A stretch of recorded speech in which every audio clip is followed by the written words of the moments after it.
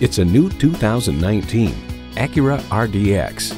It's ready to shoulder your everyday burdens with sophistication and class. Plus, it offers an exciting list of features.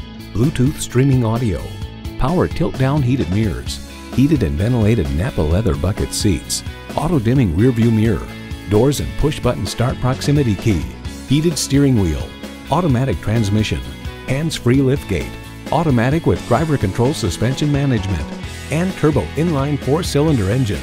Cars.com explains the Acura RDX is better armed to win over shoppers. It's larger, lighter, and more efficient while offering an attractive value proposition. Acura believes if there is a better way, take it. That philosophy shines through in this vehicle.